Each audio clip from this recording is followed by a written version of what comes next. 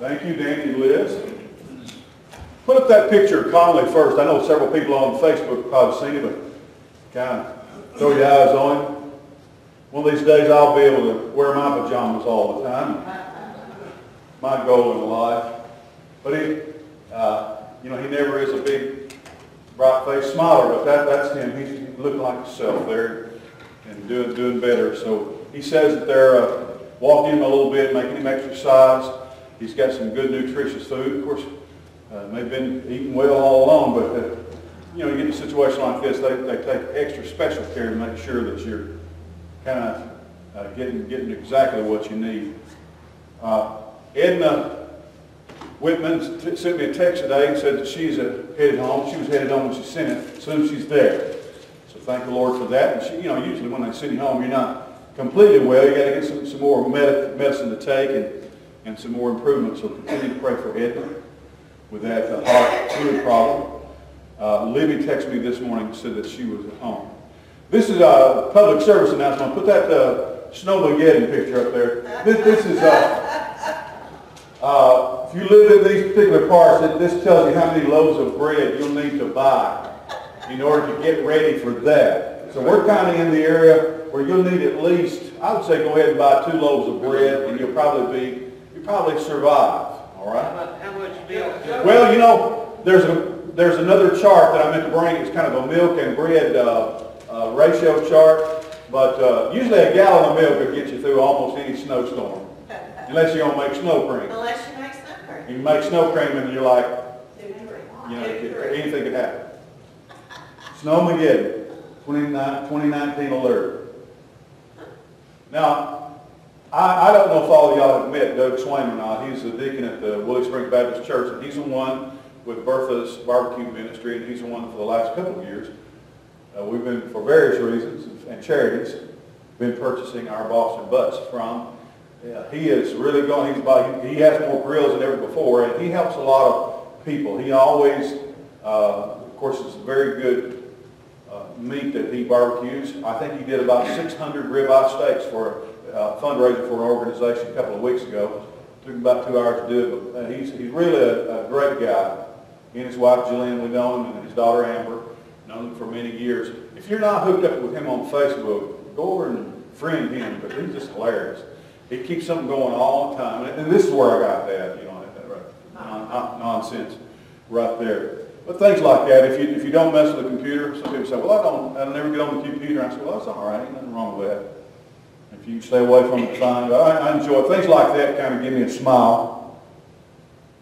Uh, can't tell you, uh, this is something I don't have any interest in it at all. But uh, many years ago, uh, well, I don't say about half that many years ago, Terry and I served at the Willie Springs Baptist Church in uh, near Ardmore, and the adults there that were a little bit younger than us, we were just a little bit older, but uh, the adults who became the foundation for a really tremendous church growth effort there uh, came from a really, really strong youth group. And uh, a man named Billy Michael and his wife Dorothy were the youth directors, and they, they were not salaried people or professionally trained, but they just loved the kids. Their kids had two daughters and a son who was in, in the youth department. And uh, I don't think Billy could sing or play an instrument, but he, he got put the kids together as a choir. Now, when, we, when I was there as a pastor, all, a lot of those kids that were in the choir and in the youth group were deacons, teachers, VBS workers, and ju- just, it's a tremendous testimony too. And that's kind of the story of the youth program that Terry and Danny and I came out of from the Flint Baptist Church. Uh, just uh, how many preachers and pastors and singers and, uh, and servants of God, teachers that came out of our youth group, people that are still serving the Lord, still serving the Lord. I, I keep, up, keep track with the Berries, uh, Connie Beeson, uh, Tim Hutchison, uh, just so many of the young people. And so, uh, you know, they, they're, no, I don't think any of them, uh, I think Connie's still at Flint, but, you know, a lot of times we say these, these young people like to look at Addison and Avery and the boys who were here this morning, so they're, they're the future of our church. Well, you know, they're really not. they're not going to be, they probably won't come here. They'll, they'll go somewhere else. That's, when, when we have young people, Uh, uh, Carter and uh, Bailey are still here, but, uh, you know, how, how much longer are we going to be able to keep them? Alan and Chandler pray that they'll go away just every day and uh, move out of the house. Garden kind of really doing well with Carter. They got him out of the house, but they, they still haven't paid his rent somewhere else. But, you know, sometimes you have to take little baby steps like that before you just get them out and change all the locks on the doors. We found out who knocked on our door last night. I'm glad we didn't shoot. He's the Amazon delivery guy. Terry got out of the car today and said, is there a box on the front door? I said, a box on the front door on Sunday? He said, yeah. So this guy was out like, what, 9, 10 o'clock last night, delivered in the dark, and evidently just threw that box down, box of uh, stuff or, that I had ordered, and went boom, boom, and then, then ran off. And uh, so I'm glad I didn't shoot him, but if I, uh, what? It might have been a drone. Yeah, we'll just come in there and drop it. I don't know how they knock on this thing, but anyway, my goodness. Uh, so I'm glad.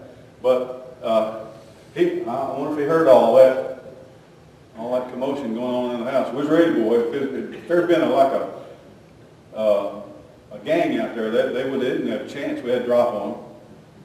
But anyway, will that increase in size one more time, Andy? I don't know how much you played with it. You may have already played with it. It may not fit on the screen. Now, Dave, I go that big, It scoots over, don't it? All right.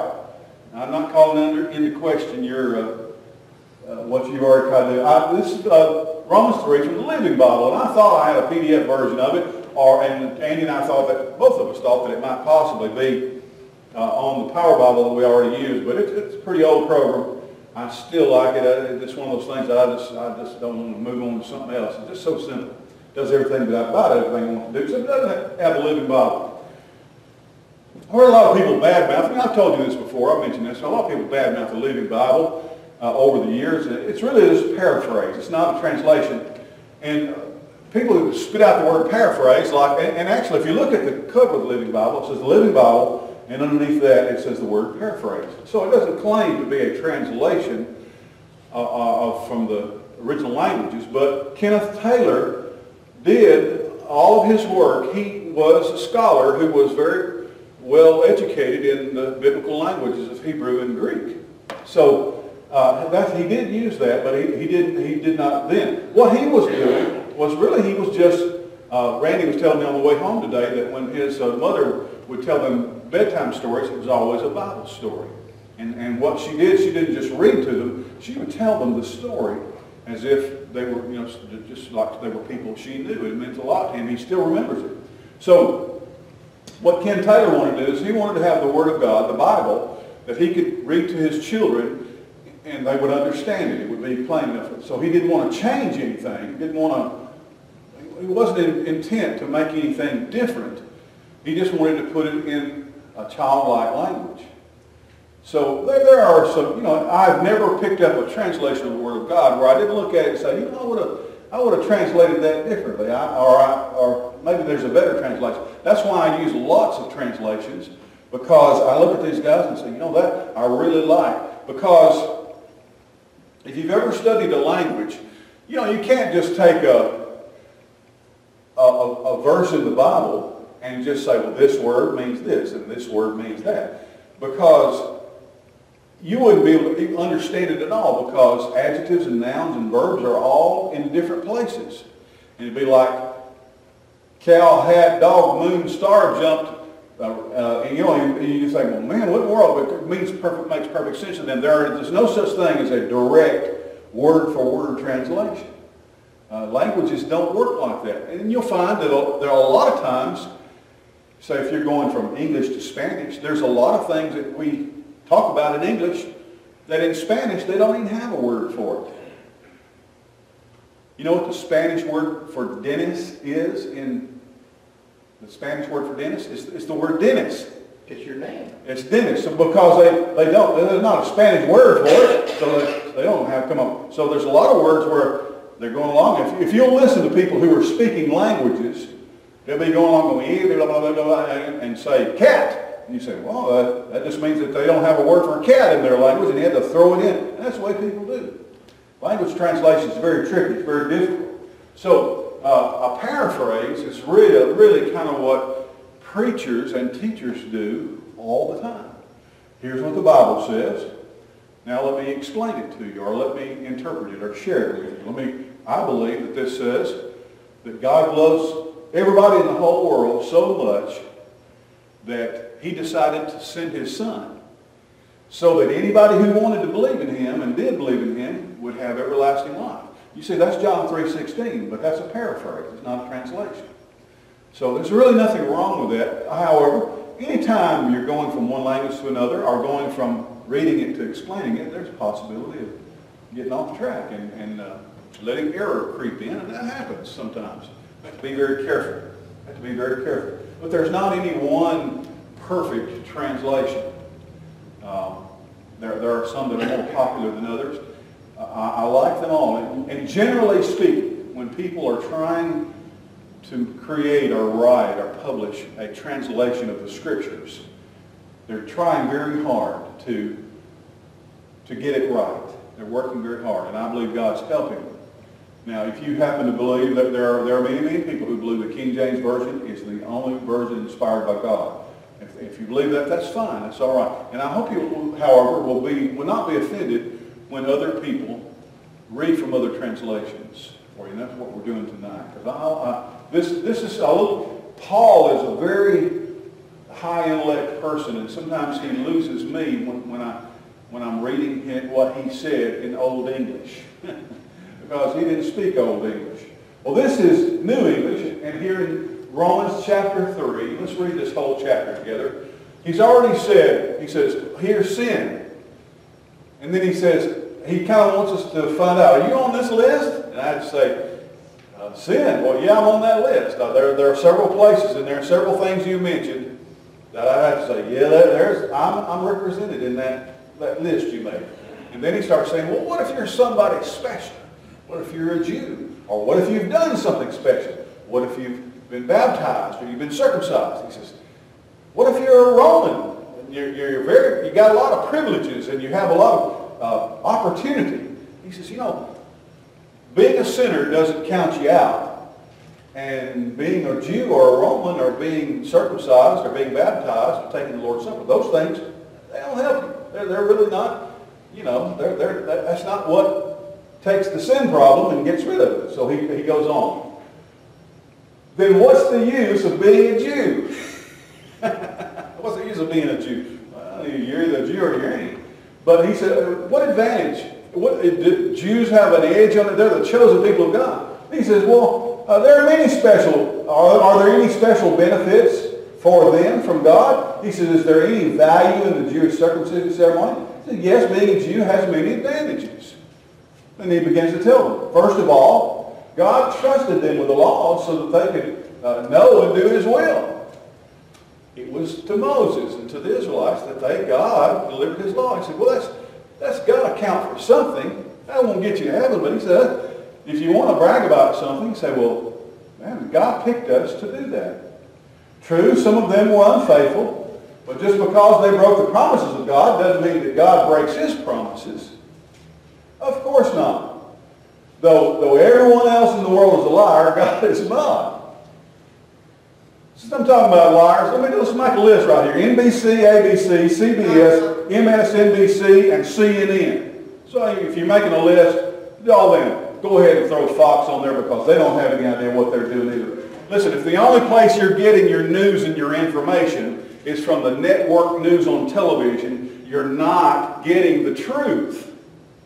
I promise you, guarantee you. Because if you'll read some newspapers and read some magazines, and if you'll listen to, uh, there, there are so many different ways. We live in a world of information. We live in a, in a world where you can find out what the truth is. And you don't have to get it from Walter Cronkite. Do you know what one of the things, and this, this may be overblown, do you remember that uh, Lyndon Johnson, he finished John F. Kennedy's term as president. And then he was elected as president, and he ran for his first term. So he could have run for another term as president. But then he, he surprised everybody in his party and everybody, everybody in the United States. He says, I'm not going to seek the nomination of my party for the presidency of the United States. Right. And he didn't make this a part of his speech at that time, but, but uh, those who were part of his inner circle, that's part of the LBJ library now and everything, they said what happened was he was watching TV one day and he turned around after something that Walter Cronkite had said about the Vietnam War and uh, on television, and he looked over, LBJ looked over at one of his counselors that was watching television with him and said, if Walter Cronkite is against us, then we've lost the world, the, the war, and the presidency. And today, the mainstream media is molding and shaping a narrative that is far from the truth. Is far from the truth. And all you have to do is just get a little past them, a little beyond them, to do a little research. You have to study. You got you can't just lap up everything and swallow everything you hear. Can't believe everything you hear. Got to do a little research and you can find out what the real truth really is. So here, he says that this is, a, you'll hear this, and of course it doesn't sound the same in the Living Bible. Let God be true and every man a liar. He says we, we should never get to a situation, we can always trust God's word. But when you're listening to people, don't trust them. Don't trust anybody. Don't trust people who are trying to convince you of something that is true. Always put them to the test. I don't believe in anybody. I, I have to find out for myself. Now, so do you remember that what the book of Psalms says about this? God, that God's word will always prove true and right no matter who questions them. I tell you one, one thing is, uh, especially in social media, people want to fuss and argue and debate with you until, until what? Until you start quoting Scripture. Right. Well, they think, well, they don't believe in God for one thing. They don't believe the Scripture's the Word of God. And if you start quoting the Scripture to them, well, they, they know, We can't argue with that fool because he's got God on his side. You know, he's, he's saying, well, the reason he believes he's right about everything is because he knows what the Bible says. A, a big thing is, let me tell you something. 50 years ago, you could stop anybody on the street in the United States of America and argue about the Bible with them, couldn't you? You try that these days. Even though the Bible is one of the most important pieces of literature, barring whether you think it's the Word of God or not, it's the most important book that's ever been written in human history. And the kids in school don't know anything at all about it, and people in kids in college have never even read it. So you start talking to them about the Bible, well, they, they, they, they, can't talk with you. They, they don't know how to debate anymore.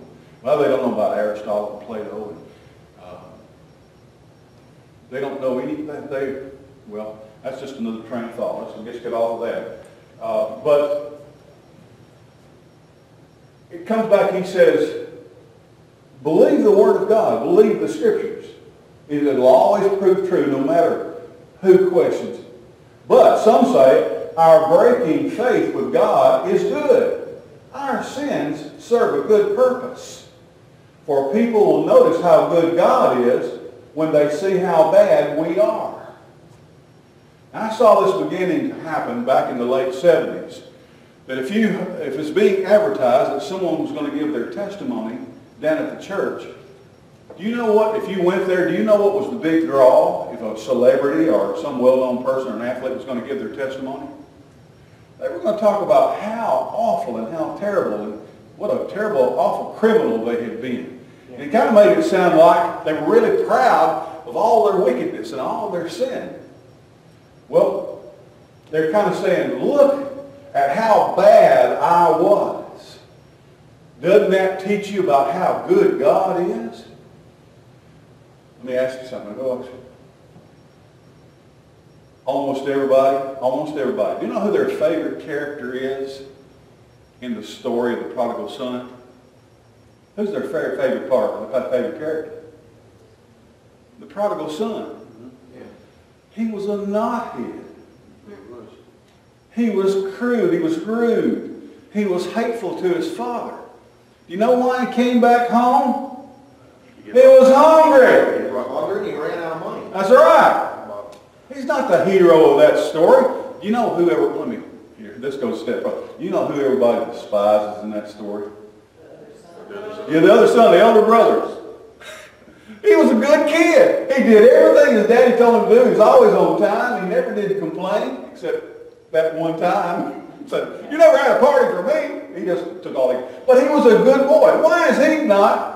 We think of him as that old elder brother, and we say, oh, the prodigal son. Well, he needed a whooping. If, you know, if that had been my daddy, he'd say, son, welcome home. Here's a kiss. Now, here's some new shoes and a ring. Now, bend over. I'm going to beat that stuffings. I'm going to, you're passing old home. Shucks. We're going to get, we're going to straighten you out right now. Take him out to the woodshed, man, and, and tear him up. He's not the hero of that story. Really, there's only really one hero in that story, and that's the father. You know, he's, he's a good man. And he, he's, uh, he loves both his sons. He's the only person that has that you look at with complete admiration. But in our, he's, what he's talking about is, is that the way we've gotten to kind of a thread is that we think we can demonstrate what a wonderful God we serve by how wicked we are. It just gives God a chance to show off. You know, even Mark Twain said this. He says, uh, God is a tremendous forgiver. He says, I am a terrible sinner. He says, we make a great pair.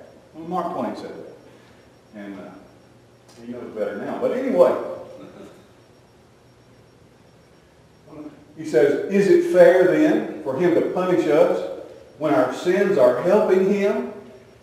Doesn't that sound ridiculous? But that's exactly the way people think. The more sinful we are, it may better it makes God look. Because he forgives us. He just says, oh, forget about it. He says that is the way some people talk. And it really is. And that was 2,000 years ago. God forbid. What kind of God would he be to overlook sin? How could we, he ever condemn anyone? For he could not judge and condemn me as a sinner if my dishonesty brought him glory. Take that up to the top of the page. By pointing up his honesty to contrast my lies. If you follow through with that idea, you come to this. The worse we are, the better God likes it. The worse we are, the better God likes it. He said, that's ridiculous. But the damnation of those who say such thing is just. He says, he says those folks are going to be damned. And he says they're going to get what they deserve. Yet some claim that that is what I preach. You can see it through, like a thread through Paul's writings. Paul preached about grace. And they said, well, Paul, you're just saying then that the more we sin, grace abounds. He said, and he says, this is what this is what people think you've been saying about what I teach about grace. He says, this is not true. Well then, we're, uh, are we Jews better than others? He says, no, not at all. For we've already shown that all men alike are sinners. He said, wasn't you paying attention in chapter 1? Whether Jews or Gentiles, as the scriptures say, no one is good, no one in all the world is innocent. Let me interject a kind of a archaic and uh, seldom used theological phrase here that used to be very commonly spoken of and preached about, but it's, it's fallen out of our vocabulary now. Uh, in for hundreds and hundreds and hundreds of years until the modern era of Christianity, Bible teachers talked about the total depravity of man. The total depravity of man. And what that means is, is that every aspect, it doesn't mean that we all of us are completely 100% evil or depraved, but it means that every aspect of our being, our, our knowledge, our intellect, our heart, our emotions, uh, every aspect of our feelings and our thoughts and our processes have all been damaged by sin. Every, there's not a part of me, not a toe of my foot or a finger on my hand that hasn't been affected by sin in some way. Every part of me has been affected. That's, that's the totality of, of my depravity. Here's something else too that you hear quite often. It's in songs, it's in sermons, and it's in modern philosophy. It's been in philosophy since this time. That people are basically, when you get right down to it, when you when you just meet, you just just people, just folks, and you just when you get right down to it, people are basically good. And then every once in a while you have a stray hair that's a serial killer. No, people are not basically good. We're basically bad. It takes effort to be good. You got to do, you got to put forth some energy. If you, if you just relax, if you just kind of be yourself, they say, well, just be yourself. I used to, uh, I don't know if I use these particular sermonic words, but when guys used to come by to pick up crease on the date, I'd look at that guy and say, don't be yourself. don't be yourself. I look at my daughter and say, don't be yourself either. Be somebody else, better. I have no illusions about who I am and what I'm like. You see, the road to hell is paved with this. When, when people start thinking, you know, I'm not all that bad. I'm a pretty good guy. I'm a pretty good person. I'm okay. I ain't killed anybody today. I ain't told any lies. You see, the problem with all of the religious leaders in Jesus' day is that none of them were sinners. Not one of them. It's like going to prison looking for a guilty man. Can't find him. He's, he's gone. We don't need, everybody here is innocent. I was framed. I was framed. I wasn't even there. If we had a spark of goodness in us, then God could have fanned that into a flame. Instead, he had to send his son to die for us because it ain't working. It's not there. It doesn't have anything to work with. We've been damaged. We've, we've everything, part, everything that is a part of humanity. We're not, when you get right down to it, basically good folks.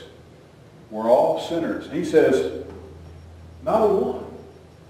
No one is good. No one is good. Well, I'm pretty good. No, no, you're not. Remember when the rich young ruler came to said, Good master, what must I do to inherit eternal life? And Jesus said, Why callest thou me good? For there is none good but one, and that is God. Jesus said there's only one good person, and that's God.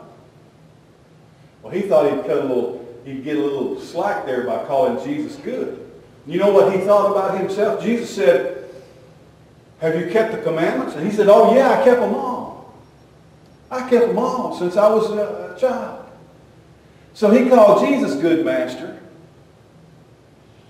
And you know what he thought about himself? He thought he was good too. I've kept all the commandments of God. That was the problem with the religious people in Jesus' day. They, they, they thought they were good folks. And they didn't need a Savior. They were not sinners. They were offended by John the Baptist because he demanded that they repent. They didn't think they had anything to repent of. Verse 11 says, No one has ever really followed God's path or even truly wanted to. Now, Paul is probably just kidding here. He doesn't really mean that. He doesn't really mean that no one, no one, not one has ever followed God's path or ever really wanted to. He doesn't mean that. He's exaggerating to get your attention. No, he's not. He's telling it like it is. That's right. And we don't want to hear that. We don't believe that. We don't, we don't, we don't hold to that. We don't think that's the truth. Everyone has turned away. We've all gone wrong. And no one anywhere has ever kept on doing what is right. And he says, let me, let me just put a, some punctuation right here and say, not one. Their talk is foul and filthy like the stench from an open grave. Their tongues are loaded with lies. Everything they say has in it the sting of poison and deadly snakes. Their mouths are full of cursing and bitterness. They're quick to kill, hating one another, who dis- anyone who disagrees with them. Well, I've never, in this life, I've never, in my whole life, I've never seen a time when people, if they, if you disagree with them, they don't just disagree with you back. They hate you. They hate you because you disagree with them. I'm thinking, well, man, how can we, How can we move on? How can we get to the truth? How can we, how can we make any progress is if you disagree with me, you can't just say, well, I disagree with you and this is why. Say, we're going, we're going to get a law passed that you can't come on our campus. And if you do, we'll set your car on fire. Okay. Besides, you're a racist. Anyway. I don't know, that just seems to fit everybody. Wherever they go, they leave misery and trouble behind them. I don't know where it started, how far to go back, and you can't blame one politician and one party. But there's not any element in Congress at all who's interested in solving problems or fixing things. They don't have a slightest bit of interest.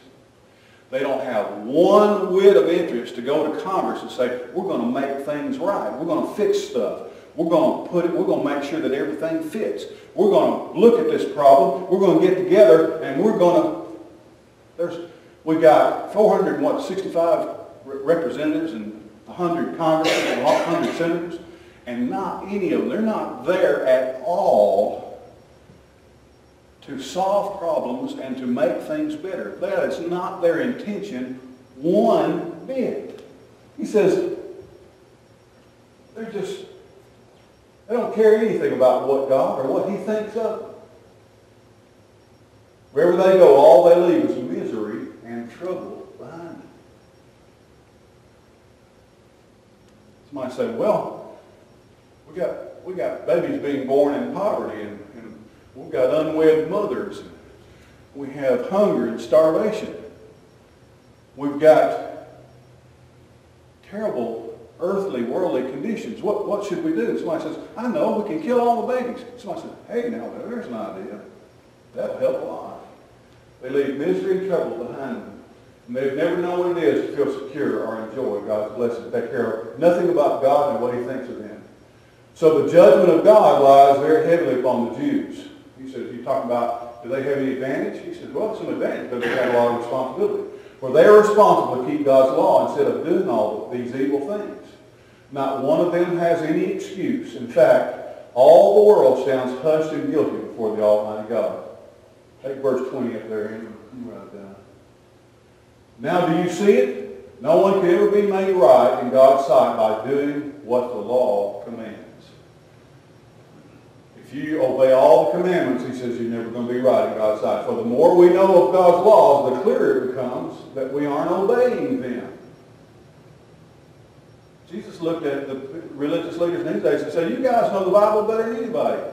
And you think you've kept all the laws? He says, if you know the Bible better than anybody, you ought to know that you're sick and need a physician. The more we know of God's laws, the clearer it becomes that we aren't obeying them. His laws serve only to make us see we're sinners.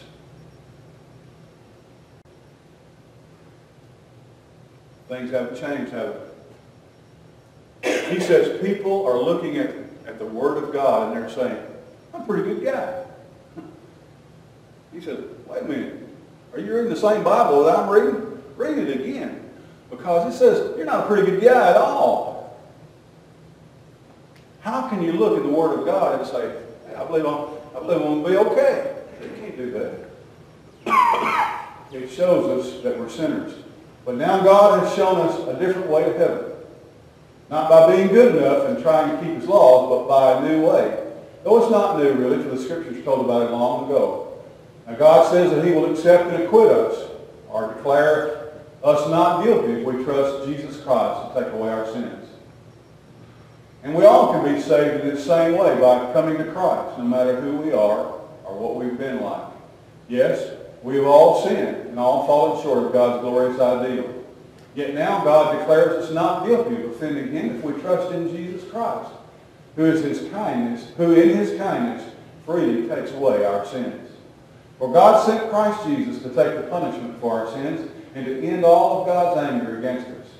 He used Christ's blood and our faith as the means for saving us from his wrath. Remember, we, we learned in chapter 1 that when we're being saved, we're being saved from God's wrath. Not being saved from the devil. We're not being saved from our sin or by sin's consequences. We're being saved from his wrath. In this way, he is being entirely fair, even though he did not punish those who sinned in former times, for he was looking forward to the time when, when Christ would come to take away those sins. And now in these days also, he can receive sinners in the same way because Jesus took away their sins. But isn't this unfair for God to let criminals go free and to say they're innocent?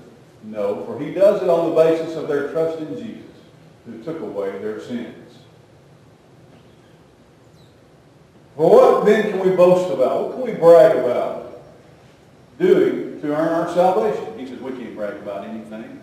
Oh, I did this. I joined the church. I was baptized. Uh, I raised my hand. I signed a card. I knelt at the altar. He said, no, you can't brag about that.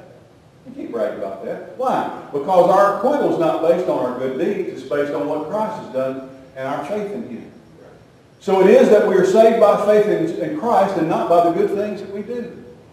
And does God save only the Jews in this way? No. Gentiles too may come to him in the same manner. God treats us all the same, all whether Jews or Gentiles are acquitted if they have faith. Well then, if we're saved by faith, does this mean that we no longer need to obey God's laws? He said, I know the way you people think. He says, oh, goody. We can do whatever we want to do. He says, just the opposite. In fact, only when we trust Jesus can we truly obey him. All right, is that the last verse in, in chapter 3? That's it. You see, when I became a Christian for the first time in my life, I had the desire and the ability to be obedient and to trust God and to try to live, as we say in Alabama, we live right. But uh, he says, a lot of people, uh, I, I really don't find people so much who say that Jesus saved me so I can live any way I want to. But you will find that as a Baptist, you're accused of saying, people will tell people, that's what you believe because you're a Baptist. I don't believe that at all. That's what they were saying about Paul. I've heard people talk about easy believers. All you Baptists just believe, all you got to do is believe. Well, that's all you got to do. But we become redeemed, saved, changed people when, he, when we express true faith in Christ. Well, folks, I hope you have a, a good week, and uh, we will not meet this Wednesday night, but next Wednesday night we will. Don't forget that Judge uh, Craig will be with us Sunday morning to be, be our getting of, of record. I'm looking forward to that. That'll be a good service. And uh, I've asked uh, our, our two lay preachers to, to come and preach for us on uh, February the 10th, morning and night. Uh, Lord willing, I'll be here, but still wanting to keep things before you that keep you on your heart's toes. Is anything that you have to say or anything before that I've overlooked today or we forgot to do or say? Anything we've forgotten to tap on the nose today? Washcloths and bar soap will be next month's item. Washcloths and soap, all right, in February. And I think Terry Ward is going to be leading Children's Church. Is that right? All right. Okay, folks. God bless you. Thank you for your faithfulness. Be careful out there. And, and go, go buy 1.7 loaves of bread. We'll go home tonight. Yeah.